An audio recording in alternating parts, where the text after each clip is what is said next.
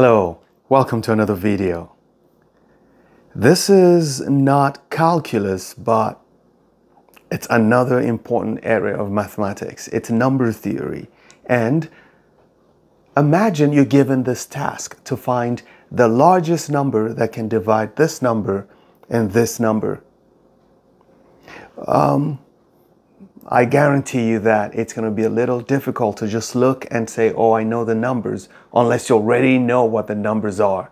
Okay, but if the numbers were smaller, it's easy for you to do some division or just look at them and say, oh, I know this number is divisible by 2 or by 3. But by the time you try all these numbers I just mentioned, you'll find out that it's, it's not one of the answers.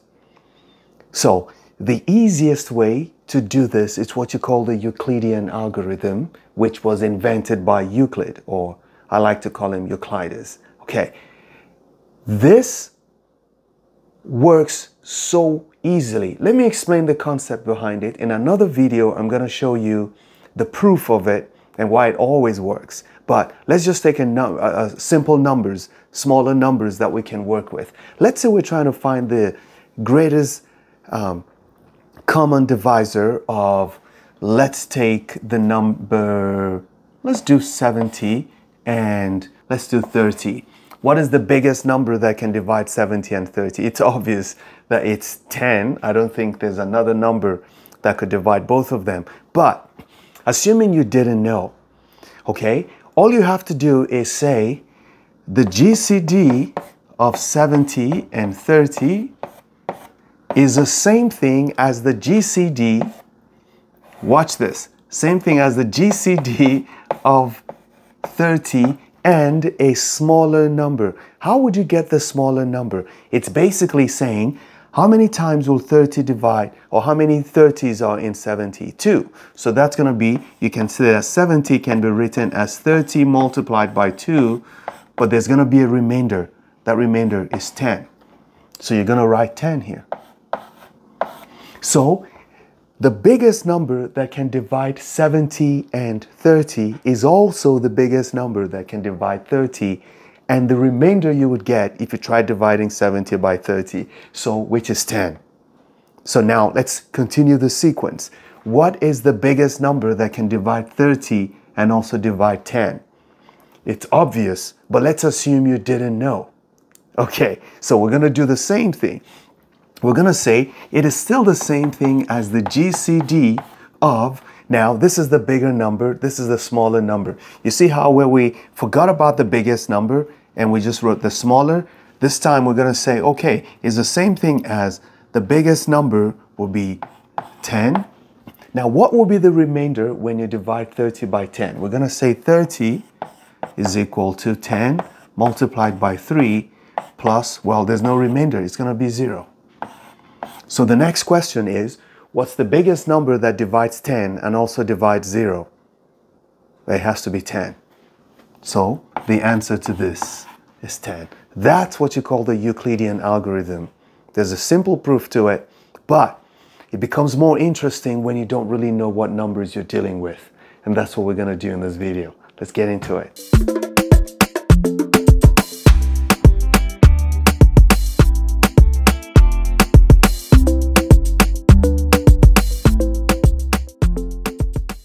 So just like I explained, in this case, I'm going to do the same thing here. We're going to use the division algorithm. And the first thing you want to ask yourself is, which of these two numbers is bigger? Look, this has five digits, and this also have five digits. So that means we have to look at the first digit then. The first digit here is bigger than the first digit here. So you're going to ask yourself, how many of this can I find in this? We notice that we can say that's 21029 can be written as 12597 plus something. Okay, this can only divide this once. So it's like saying this is this multiplied by 1. So this multiplication by 1. Okay, plus there's going to be a remainder. What would the remainder be? 8432. So we have 8432. The same idea that we used here. the GCD of these two big numbers is the same as the GCD of these two small numbers. So this process helps us reduce the numbers to what we can actually deal with. So now I'm going to be dealing with this and this now. So I can also say that the GCD of 21029, comma 12597 is equal to the GCD of these two numbers 12597 and 8432. So this is what I'm focused on now. I'm forgetting about this. Okay, so now let's deal with this. How many of this can you get in this? We want to rewrite it this way. We do another line and say that 12597 can be written as how many of this will be in this? Well, this is like 12 and this is 8. How many 8s are in 12? Just one. So it's going to be 8, 4, 3, 2 multiplied by 1 plus what would be the remainder? 4, 1, 6, 5. Because if you add this to this, you're going to get this. So now we can also say that the GCD of these two numbers will be the GCD of these two numbers. So I'm going to write GCD of um, what is it? 12597, comma 8432 is the same thing as the GCD of 8432 and 4165. And that's how you continue the sequence. That's why it's called an algorithm. And you can write a program for it. Write a program, you can find the GCD of any two large numbers, no matter how large the numbers are. Just keep reducing and reducing and reducing. In my next video, I'm going to show you the reasoning behind this and why it always works. It has to do with divisibility and common factors. So we'll take one more step. And then we go and say that 8, 4, 3, 2 can be written as how many of these can you find here? This is 8,000, this is 4,000. I think I can get two of this here.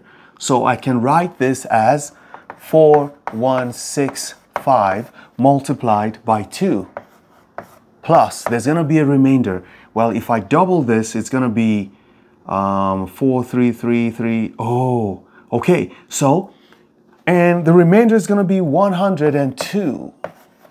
That's what the remainder is going to be. Okay, now this is my new focus because then the GCD I'm looking for the GCD of these two numbers that I have here. I, know, I just want to keep writing it so you can see the reasoning. For 8432, comma 4165 is equal to the GCD of um, 4165 and 102. Okay, the numbers are getting smaller. I need 40 of this because yes, okay, I'll need four digits. So 40 of this, that's gonna be remainder 85. That's the remainder that I need. And then I can say the GCD again uh, of 4165, 102 is the same thing as the GCD of 102 and 85. Okay, so let's say this was where the first question was. This was where I started. And I said, what is the GCD of 102 and 85? Many people will still struggle to tell me straight, straight away what the answer is. But say you are struggling with it, there's the same thing you're going to do. You say, okay, um, 102 can be written as, there's only one of this here, 85 plus 17. So it's 85 times 1 plus 17. Mm. So we can say that the GCD of 102 and 85 is the same thing as the GCD of 85 and 17. Okay, well, you can write 85 in terms of 17 and say that 85 is equal to 17 times, oh, that's 5, plus, there's no remainder, it's 0. Nice. So we can say that the GCD of 85 and 17 is equal to the GCD of 17 and 0. So the question is, once you get 0, you've come to the end of your algorithm and you say, what is the biggest number that can divide 17 and can also divide 0? Well, that's your answer.